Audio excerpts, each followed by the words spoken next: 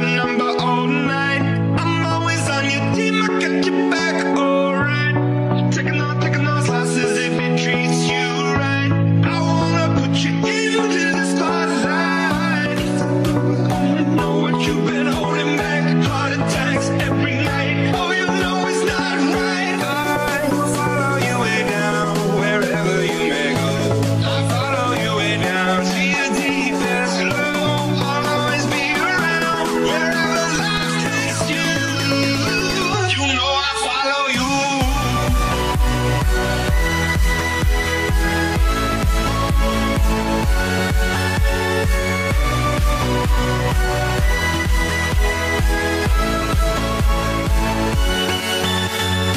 Música